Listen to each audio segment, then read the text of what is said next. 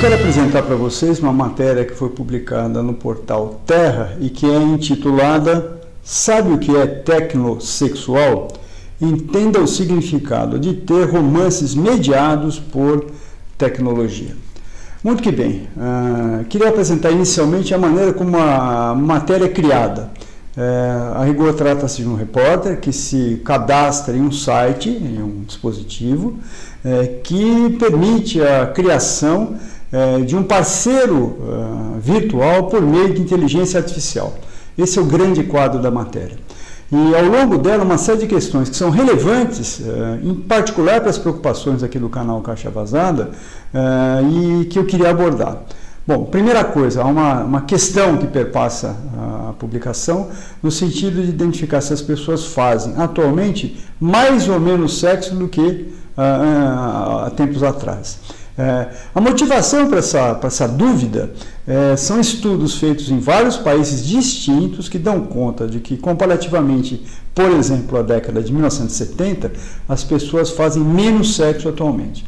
É, bom, partindo desse contexto, a, o repórter faz essa questão: se faz menos ou mais sexo atualmente? E a resposta é depende, ou seja, depende do que se considera, do que se entende como sexo. Né? E, é, e, a razão de ser da, dessa resposta é bastante óbvia, é justamente pelo fato de haver cada vez mais mediações tecnológicas é, para fins de relações é, de natureza sexual. É, queria lembrar a mais óbvia delas, me parece, é, que é a pornografia, né? que, que tem uma quantidade imensa de, de, de espectadores, de usuários, Uh, e que de alguma forma me parece estar presente com maior ou menor intensidade na vida sexual da maior parte das pessoas. Então, quando uma pessoa, portanto, uh, estabelece uma conexão com um produto pornográfico uh, sem um parceiro, por exemplo, né, ela está fazendo ou não fazendo sexo? Acho que essa é uma questão. há, no entanto, um fato complementar. Além desse, da própria máquina, vamos dizer assim, criado por meio de inteligência artificial, que te permite ter um parceiro sexual para texting, para, enfim, é, usar chat, para interagir por voz e daí por diante, há outros tantos dispositivos que vêm sendo criados no sentido de é, é, se fazer presente na relação sexual. exemplo claro disso são os, os ah, os vibradores, né, muitos deles que já permitem ah, o controle remoto por meio da internet pra, por parte de um dos parceiros. Né? Ah, então, assim, é, é, essa relação, ela é, é, sexo ou não é sexo? Né? À medida em que há alguém que está interagindo com outro por meio da internet. Eu, particularmente, acredito que sim, é sexo. Né?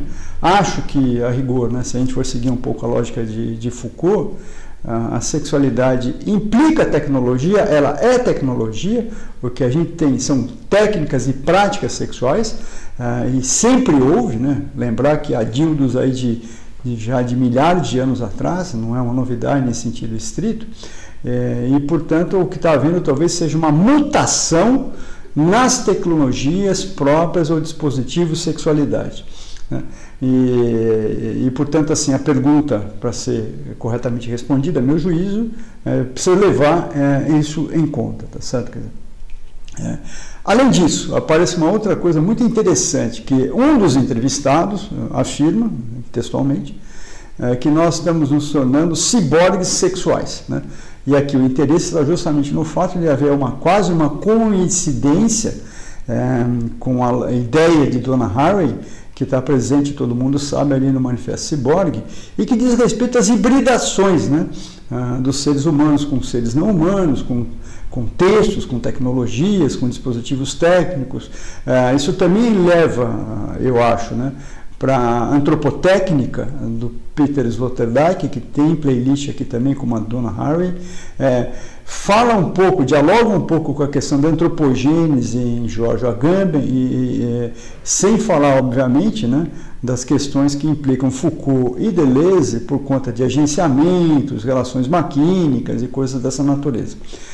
O fato é que, à medida em que o tempo passa, nós vamos revelando cada vez mais a nossa própria natureza, a meu juízo, que não é uma natureza que tem a ver com o natural. O modo de ser do humano é, implica a técnica. e, portanto, nós talvez desde sempre tenhamos sido ciborgues, no sentido de que toda a nossa relação com o mundo é mediada por dispositivos técnicos. Né? E o que está acontecendo é que, nesse momento, à medida que a própria tecnologia se desenvolveu, eh, as, as nossas vidas correntes vão dando mostra que praticamente em todos os campos a questão da tecnologia, da técnica, está ah, presente, inclusive no caso ah, nas relações sexuais. Razão pela qual, a meu juízo, eu não acho que as pessoas fazem menos sexo, eu acho, como disse anteriormente, que o dispositivo sexualidade passa por uma mutação, como outras tantas que ocorreram, que ocorreram ao longo do tempo.